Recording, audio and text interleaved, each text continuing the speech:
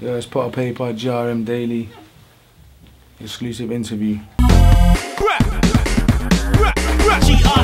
GRM Daily.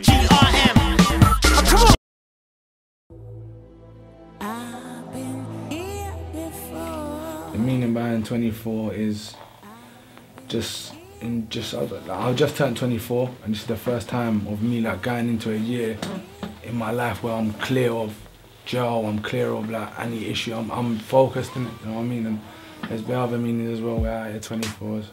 You got the program as well, Jack with Jack Bauer 24, that's a little theme, you know, done training day with a theme thing. So that was sort of in my mind as well. Yeah man, just trying to be original innit? That's what it is. The project come about like basically obviously I just I've just obviously come out. The last thing I released was Training Day, which was so so long ago. Even that, even the bars from that were written like years before that while I was on that sentence, you know what I'm saying? That was, I done 27 months, so was, some of them bars was written in like 010, 011, you know what I mean? There was a lot of pressure on me in it to release new music. Everyone wants new music, so I just quickly just got in the studio for the first, like first time made a studio made project in it. There's no influence from anywhere else apart from music in it, you know what I'm saying? And collaboration wise, people that I'll collaborate with, there's a lot, there's there's a few people, man. There's quite a few. Not really rappers though, man. I wanna I wanna get out of the box of rappers, innit? I wanna try and work with like other, I don't know, you know what I'm saying, singers and even just even producers, collaborating with producers, because you can collaborate with a sick, sick producer and make a sick, sick banger, you know what I'm saying? So, yeah, rappers wise though, like um, obviously ill made, bonkers, people that are around me in it. Most of the people that I that I listen to rap wise, yeah, are incarcerated in it. KB, Kemsy, Daft, Mover. You know what I'm saying? So like, it's hard for me to reach out to anyone else out, outside of that. Innit? Really. Obviously, being from Essex, where I'm from, is tricky, innit? Like because obviously I'm from Barking, so um, it's a London borough, but it's Essex based, innit? But Essex is obviously a big place.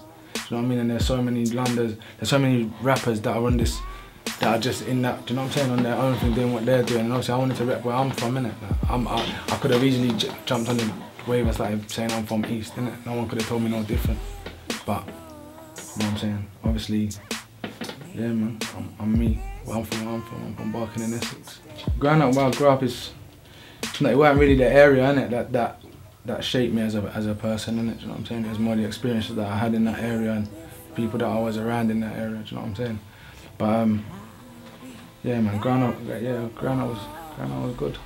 Yeah. And I was good. Obviously, I was in that jail a lot, innit? I ain't really from nowhere, innit? I can't really feel that I'm from, I'm from a certain area or something, innit? Because up until like now, I haven't been out of like custody for a space longer than eight, nine months. Since I was about 15, 14, do you know what I'm saying? Do I have any regrets? More like I regret stuff I didn't do in it rather than stuff that I did. More than stuff that I've done in it. You know what I'm saying? I regret looking back in hindsight. I regret not making certain choices and not doing certain things and not. You know what I'm saying? But yeah, man. And if I if I never lived that certain type of lifestyle and I weren't involved in what I was involved in, I weren't.